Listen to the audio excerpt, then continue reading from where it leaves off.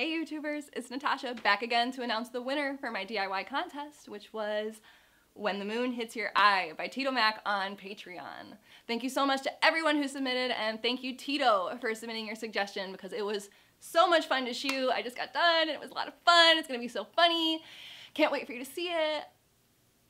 Did you want to see it right now?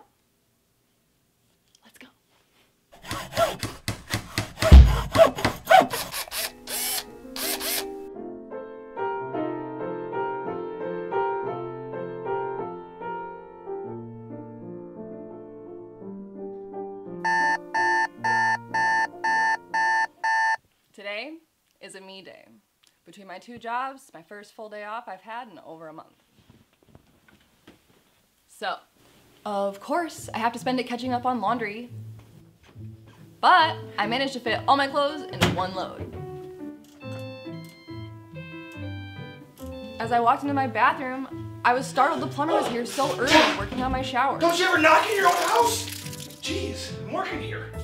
Well, guess I'm adding these shorts to the wash. When adding my newly soiled shorts to the wash, it somehow broke the machine. So I threw on my old pajama pants, which are too big on me now, and I asked the plumber, Hey, do you think you could come look at my washer? It just suddenly broke down and all my clothes are locked in there. You know, I'm generally just a small appliance repair guy. Large appliances aren't really my thing. I haven't taken the course yet. So no. There's pizza in it for you. Where's that washer? Let's go.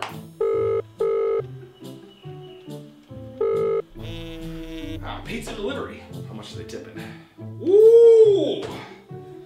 Looks like this shower could use a break.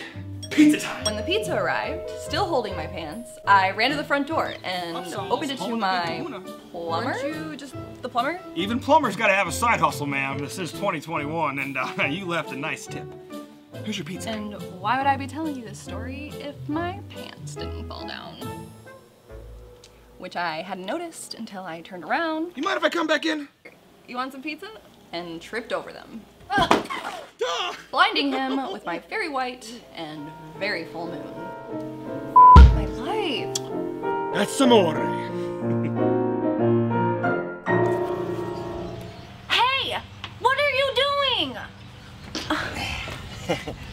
Nice.